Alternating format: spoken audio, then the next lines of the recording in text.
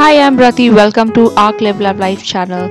If you like this video, give this video a big thumbs up and do not forget to subscribe to my channel and don't forget to click the bell icon button for the new video updates. So guys, prawns pulao today. So let's get started. So in 4 to 5 tablespoons of oil, we'll add the whole garam masala, cardamom, cloves, cinnamon, shah jeera, jawitri, pepper, bay leaves, just saute a little. Next goes in our green chilies, dry red chilies, and one medium sized sliced onion. Just fry the onions a little till they start to change in color. Now we'll add around 1.5 to 2 kgs of descanned and deveined shrimps or the prawns. Next goes in the garlic paste.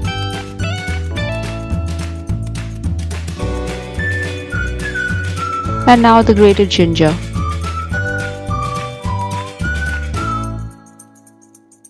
Give everything a good mix. Now add a pinch or a half spoon of turmeric. Continue to fry the prawns along with the masalas. Slowly the water will start oozing out. Now add around 750 grams of the small basmati rice. Now many people prefer that the water completely evaporates from the prawns. Here I am adding the rice beforehand just to make sure that the prawns flavor gets infused in the rice completely. Add the garam masala powder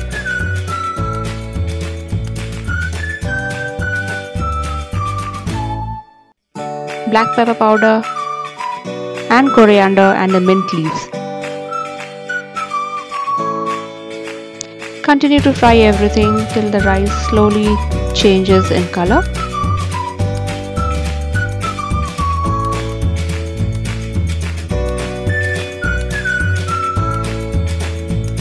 Now it's time to add the salt.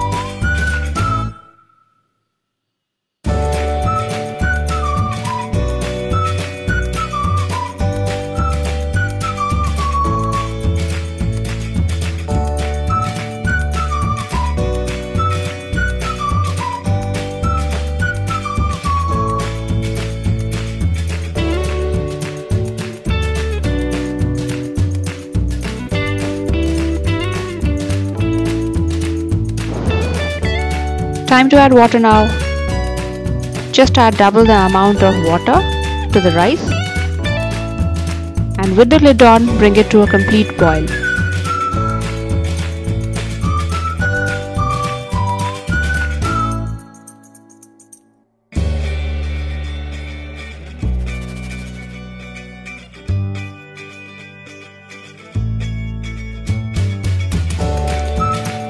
Ready to be plated? If you like my video, subscribe to my channel and press the bell icon button for the new video updates.